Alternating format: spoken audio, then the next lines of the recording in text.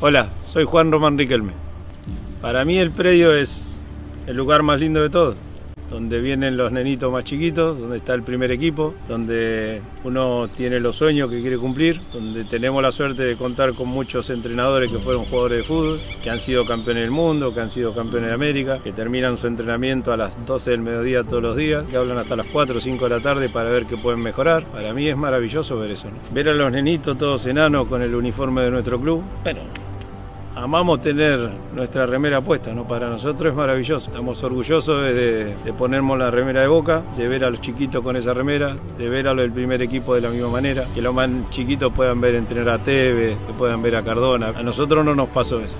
No tuvimos nunca esa suerte, queremos que ellos lo puedan vivir cada día, que aprendan cada día, que sueñen que pueden ser igual que ellos y nosotros solamente queremos ayudarlos para que puedan cumplir todos sus sueños.